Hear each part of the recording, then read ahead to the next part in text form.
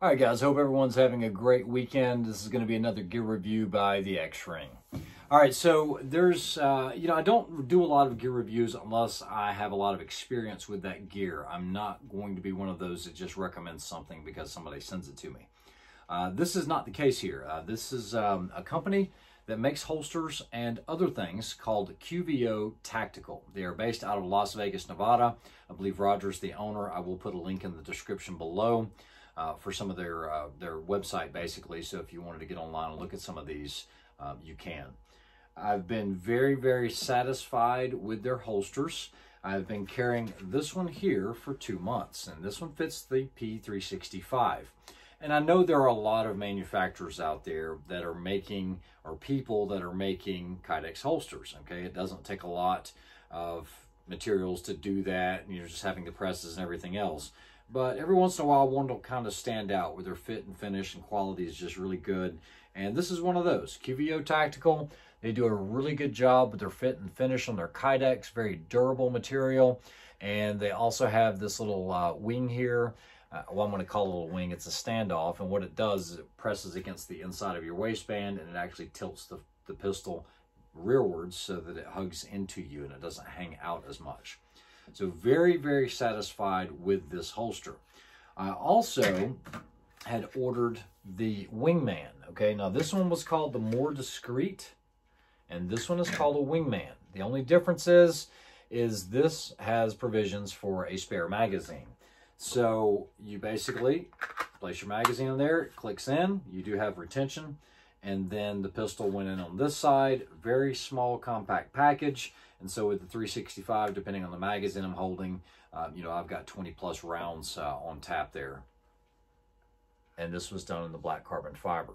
Price point on the more discreet was somewhere around 60-ish and on up. You would just have to contact them if you have a certain pistol configuration like combo that you want to see if they do or if they have the mold for. But very impressed with the quality. No time at two months that I've been wearing these have I had any hot spots or anything that aggravated me. Uh, so much so that I ordered one for the Glock 19. This is a wingman as well. It holds the spare magazine on the side. And this one was also done with a Glock 19 with a Streamlight TLR 7. Big shout out to Streamlight for providing this light. I will do a review on this light. Nice positive retention, adjustable, and you guys can see that mold work on the backside for the flashlight.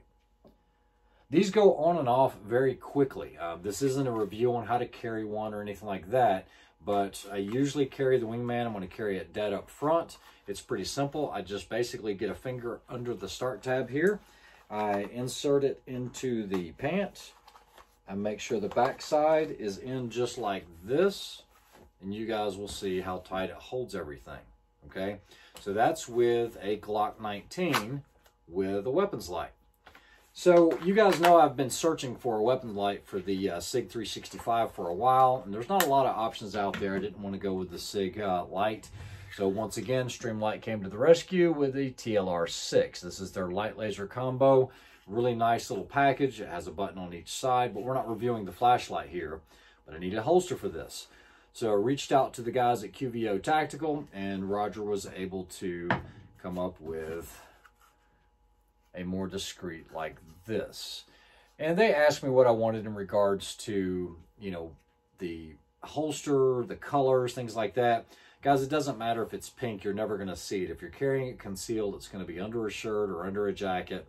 Uh, but the quality, fit, finish, retention, everything good with it.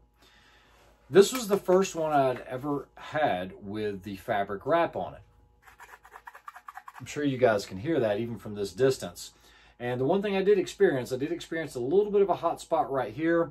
I had to take an X-Acto knife and just shave a little bit of that material off because what I didn't experience with these, this was all nice and smooth.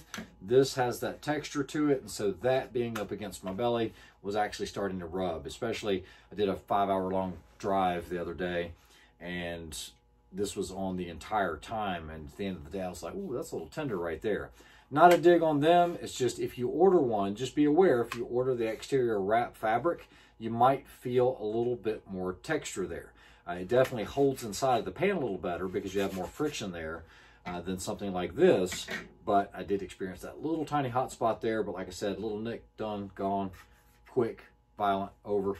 But uh, very, very satisfied with this product. So if you haven't checked them out, go check them out. I've got the link at the bottom below. They do other things other than holsters. I believe holsters are their primary business.